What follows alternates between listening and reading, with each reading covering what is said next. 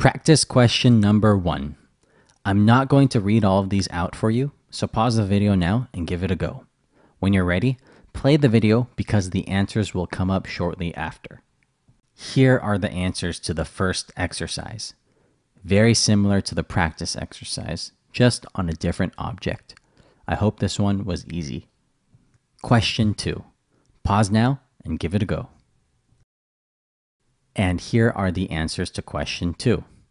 For the exercise, note that we do not wrap the 50 in single quotes because we want it to be treated as a number, not text.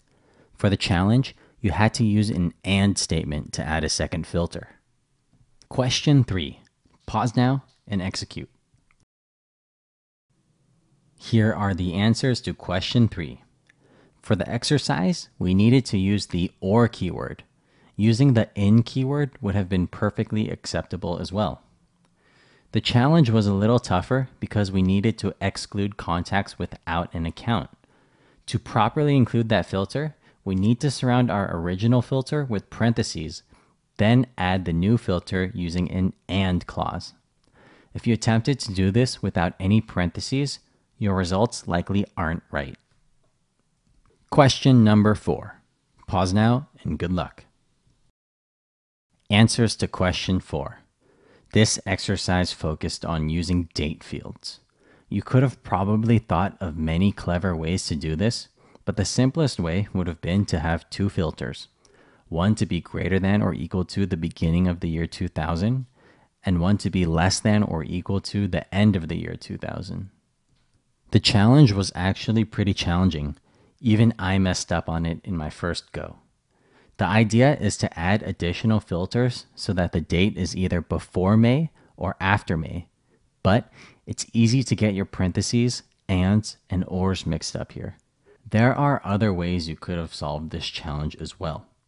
As long as your results look good in the dataset, you can consider your query to be sound.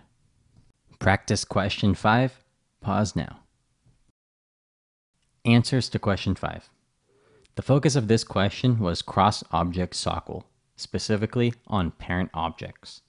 In the main exercise, there's one filter on the child object and one filter on the parent object. The challenge tries to trick you with your usage of parentheses, ands, and ors. This is a skill you need to master because most SOQL queries are like this. Question 6. Pause now. Answers to question 6.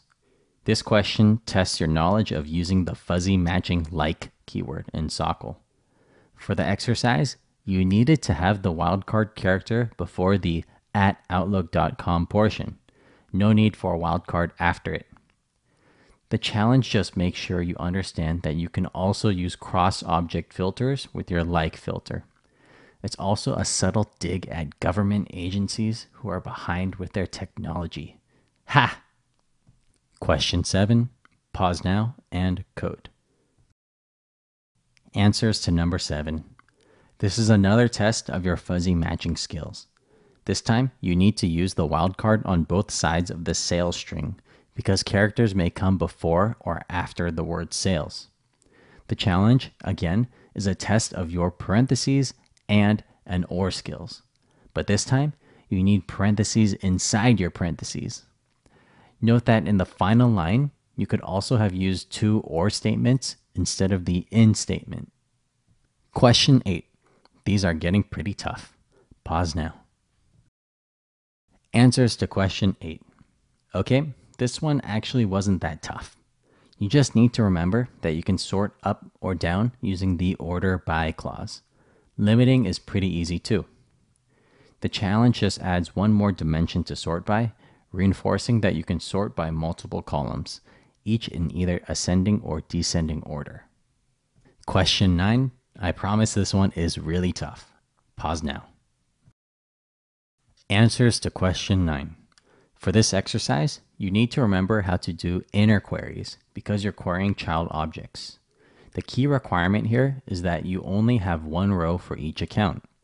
You could have done this the other way by running a regular query on the contact object instead, then querying the account information, but then you'd have more than one row for each account. The challenge just tests your where clause knowledge on inner queries. Last one. This one is the toughest, in my opinion. Pause now and good luck. Answers to the final challenge. For this exercise, you needed to identify that you are getting summarized information, meaning you needed to use the group by keyword. It takes a while to get the hang of using group by, so even though the query looks simple, don't feel bad if you didn't get it. You could have also grouped by account name, but technically account ID is better in case two accounts have the same name. For the challenge, you needed to remember that aggregate formulas work on dates too.